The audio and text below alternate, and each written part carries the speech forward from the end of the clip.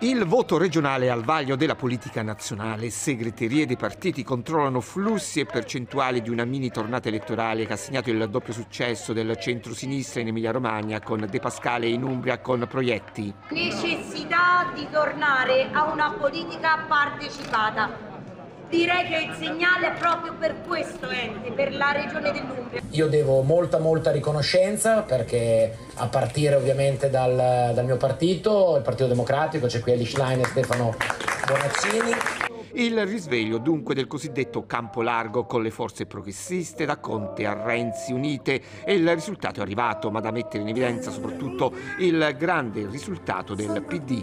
Primo partito in Emilia-Romagna oltre il 40% e in Umbria con il 30%. Male invece il Movimento 5 Stelle con percentuali dal 3 al 4%. Quindi veramente orgogliosissimi di questa vittoria per Stefania Proietti che farà benissimo, ne siamo sicuri e per i cittadini umbri. Nel centrodestra tiene Fratelli d'Italia, Forza Italia supera la Lega che perde voti, bene i centristi. Abbiamo perso sia in Emilia Romagna che in Umbria, ma per noi i cittadini hanno sempre ragione, sia quando ci danno la fiducia come in Liguria, sia quando ce la tolgono. Il presidente Consiglio Meloni intanto si congratula con i vincitori, ma resta drammatico il dato dell'astensionismo.